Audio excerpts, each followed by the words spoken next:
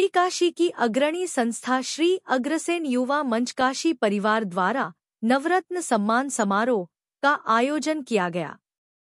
नवरत्न सम्मान समारोह में काशी के प्रतिष्ठित नौ वर्ग जैसे पत्रकार, सोशल मीडिया इन्फ्लुएंसर, चिकित्सक, शैक्षणिक संस्थान, चार्टर्ड अकाउंटेंट, व्यापारी एवं उद्योगपति, वकील, पुलिस सामाजिक संस्थाएँ में से प्रत्येक वर्ग के नौ महानुभावों को उनके राष्ट्र एवं समाज के प्रति समर्पण के भाव एवं उत्कृष्ट कार्यों के आधार पर एक मंच एक सम्मान प्रदान किया गया।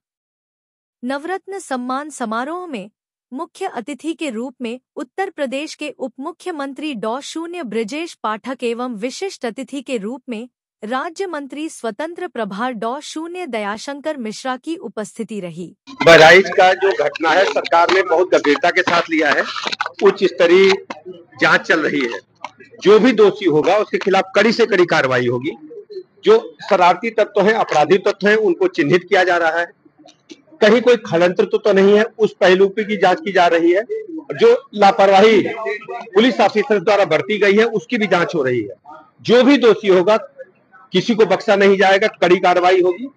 और जो पीड़ित पक्ष है पीड़ित परिवार है हमारी सरकार उनके साथ खड़ी है। बहराइच सहित अन्य जगहों पर भी इस तरह की हिंसा हुई है। क्या सरकार पूरी तरह से विफल हो गई है लॉ एंड ऑर्डर पूरे प्रदेश में सतर्कता बरतने के निर्देश दिए गए हैं और हर स्थिति में हम उत्तर प्रदेश में लाइन ऑर्डर को मेंटेन करें योगेश वर्मा पर पाँच दिनों बाद क्यों सुनवाई हो रही है? योगेश वर्मा पे पाँच दिनों बाद क्यों सुनवाई हो रही है।